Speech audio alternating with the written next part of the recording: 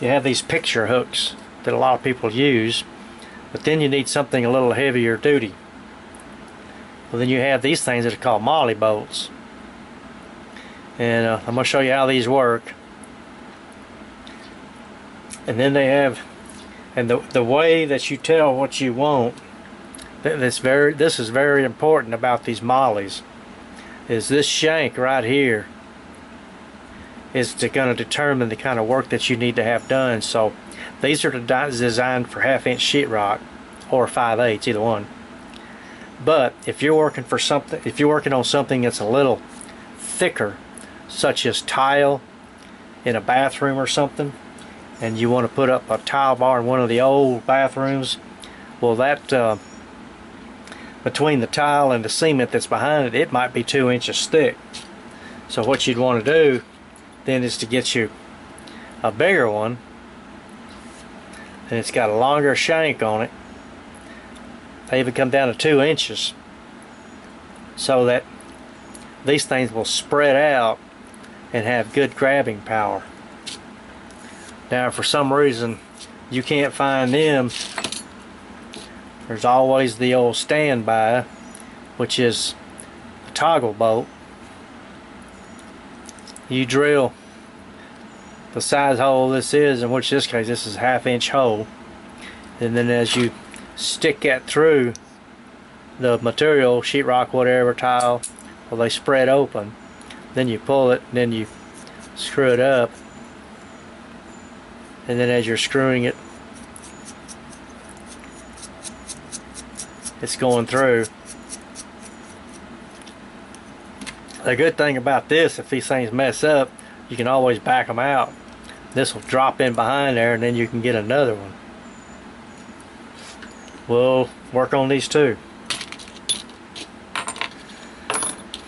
now we have these little puppies. I wouldn't even consider using these for anything because if you're not careful and you buy the cheap ones what happens? You screw it in there and this thing just goes right on through to the sheetrock because these heads are so thin that you just usually just roll over and just pull right on into your sheetrock. These metal ones are the best way to go if you need anything at all like that. It's got a large head on it, good and sturdy. The one thing you have to be careful of, you have to make sure you use the right cotton picking screw because if you use the wrong one, this thing will get up in there and spin. So these are designed for specific screws so you want to make sure you get the right one and like this one here is the wrong one. It won't go. So what would happen as you get this thing set this thing would just screw up into the wall and then you've got a big mess. And then you have to go back to one of these.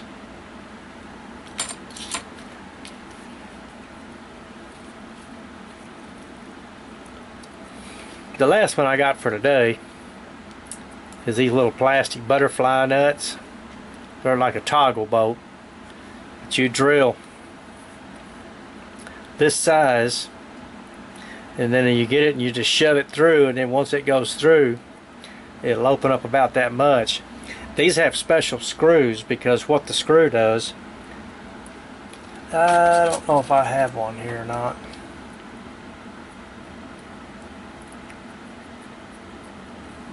No, I don't. But it's got this this this little red long thing. Oh yeah, here's go. I can use this right here. Well, once you push this through there, then you use this. It's a red looking thing inside your package. Whoops. Ah. Well, if I can get this thing to work right and then you push it in there you go and then it pushes out these are real handy they're a lot quicker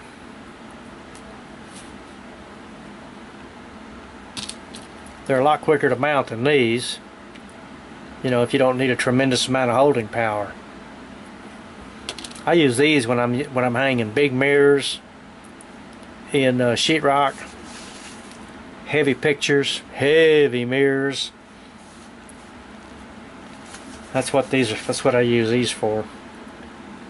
Light pictures and stuff. You can just use your picture hanging stuff from the from the retail store. Or you can just use these screws. They they do pretty good. But that, this is just for the light pictures, not the heavy ones. Okay, the first thing we're going to discuss. These are the most popular bolts used as far as in sheetrock and stuff even though a lot of people don't like them because they don't understand how they work plus they they've given them trouble in the past but I'm going to walk you past that and the first thing you want to do now if you if you do this you know 100 times a day we take these we just take a hammer and just beat our way through here because that's the quickest way that way you got a good tight fit.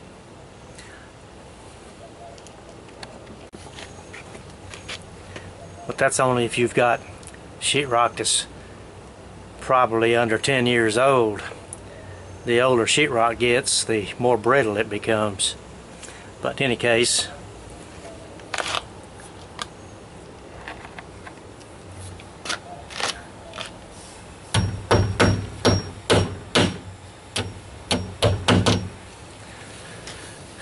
Okay, that's all you need to do with these. But where the problem comes in is when you start tightening this thing up and the base of it starts turning. Once it turns and loses its friction, there's no stopping it. But I'm going to show you how to correct that and still use the same one in the same spot. Okay, you can see how that's already making a mess and now it's worked its way past the paper okay and once you get it back in there get your pair of side cutters old ones preferably that can't cut. Everybody's got them. And then put it pull this out. You see where I got that? I got that in between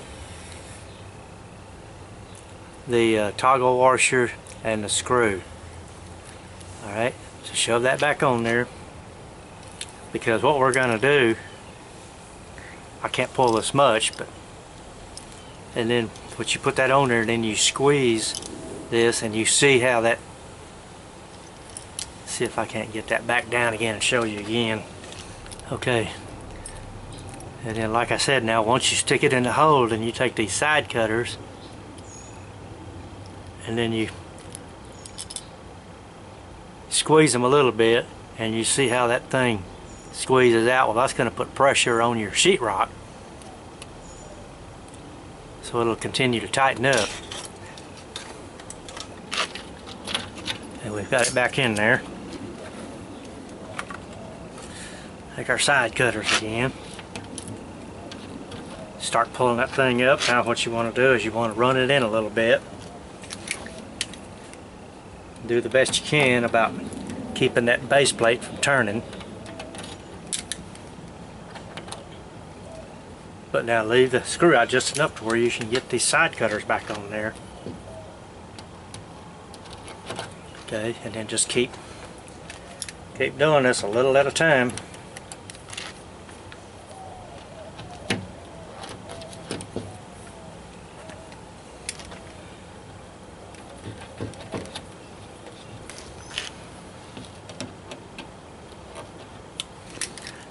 Alright, and then just go ahead and tighten it up. Uh, okay, but let's say you over tighten it and it becomes unusable.